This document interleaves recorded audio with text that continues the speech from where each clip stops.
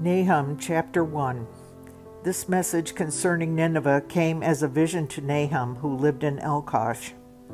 The Lord's anger against Nineveh. The Lord is a jealous God, filled with vengeance and rage.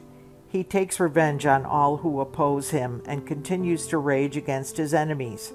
The Lord is slow to get angry, but his power is great, and he never lets the guilty go unpunished. He displays his power in the whirlwind and the storm. The billowing clouds are the dust beneath his feet. At his command, the oceans dry up and the rivers disappear.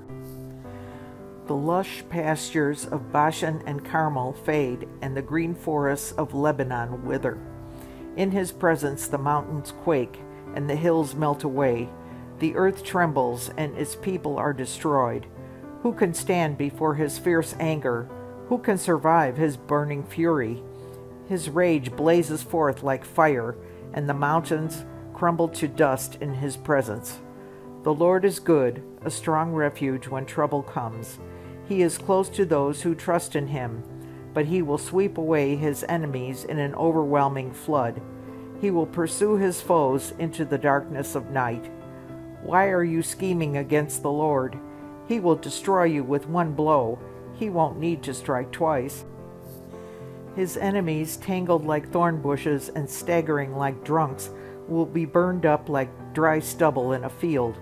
Who is this wicked counselor of yours who plots evil against the Lord? This is what the Lord says Though the Assyrians have many allies, they will be destroyed and disappear. O my people, I have punished you before, but I will not punish you again. Now I will break the yoke of bondage from your neck and tear off the chains of Assyrian oppression. And this is what the Lord says concerning the Assyrians in Nineveh You will have no more children to carry on your name. I will destroy all the idols in the temples of your gods. I am preparing a grave for you because you are despicable.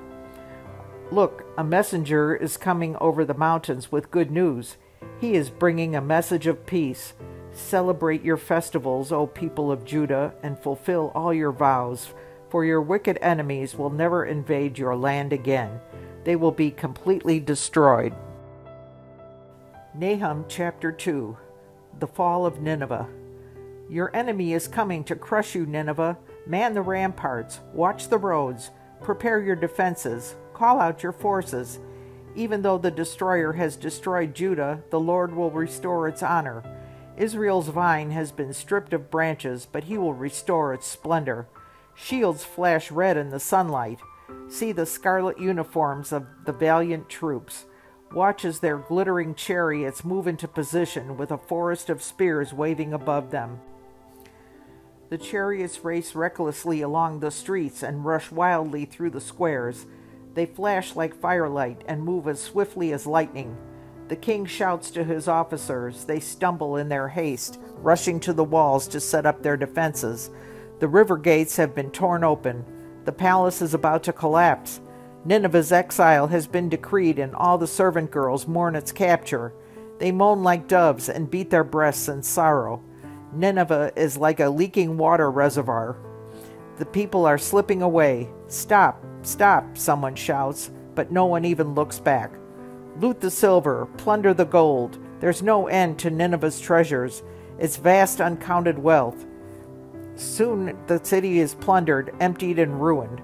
Hearts melt and knees shake. The people stand aghast, their faces pale and trembling. Where now is the great Nineveh, that den filled with young lions? It was a place where people, like lions and their cubs, walked freely and without fear. The lion tore up meat for his cubs and strangled prey for his mate. He filled his den with prey, his caverns with plunder. I am your enemy, says the Lord of heaven's armies. Your chariots will soon go up in smoke. Your young men will be killed in battle. Never again will you plunder conquered nations. The voices of your proud messengers will be heard no more. Nahum chapter 3 The Lord's judgment against Nineveh. What sorrow awaits Nineveh, the city of murder and lies? She is crammed with wealth and is never without victims. Hear the cracks of whips, the rumble of wheels. Horses' hoofs pound and chariots clatter wildly. See the flashing swords and glittering spears as the charioteers charge past. There are countless casualties, heaps of bodies, so many bodies that people stumble over them. All this because Nineveh, the beautiful and faithless city, mistress of deadly charms, enticed the nation with her beauty. She taught them all her magic, enchanting people everywhere. I am your enemy, said the Lord of heaven's armies, and now I will lift your skirts and show all the earth your nakedness and shame. I will cover you with filth and show the world how vile you really are. All who see you will shrink back and say, Nineveh lies in ruins. Where are the mourners?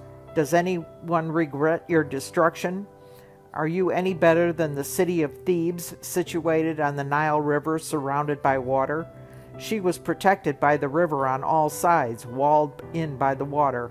Ethiopia and the land of Egypt gave unlimited assistance. The nations of Put and Libya were among her allies, yet Thebes fell, and her people were led away as captives. Her babies were dashed to death against the stones of the streets. Soldiers threw dice to get Egyptian officers as servants. All their leaders were bound in chains. And you, Nineveh, will also stagger like a drunkard. You will hide for fear of the attacking enemy. All your fortresses will fall. They will be devoured like the ripe figs that fall into the mouths of those who shake the trees. Your troops will be as weak and helpless as women. The gates of your land will be opened wide to the enemy and set on fire and burned. Get ready for the siege. Store up water. Strengthen the defenses. Go into the pits to trample clay and pack it into molds, making bricks to repair the walls. But the fire will devour you, the sword will cut you down. The enemy will consume you like locusts, devouring everything they see. There will be no escape, even if you multiply like swarming locusts. Your merchants have multiplied until they outnumber the stars, but like a swarm of locusts, they strip the land and fly away. Your guards and officials are also like swarming locusts that crowd together in the hedges on a cold day. But like locusts that fly away when the sun comes up, all of them will fly away and disappear. Your shepherds are asleep, O Assyrian king. Your princes lie dead in the dust. Your people are scattered across the mountains, with no one to gather them together. There is no healing for your wound. Your injury is fatal. All you who hear of your destruction will clap their hands for joy. Where can anyone be found who has not suffered from your continual cruelty?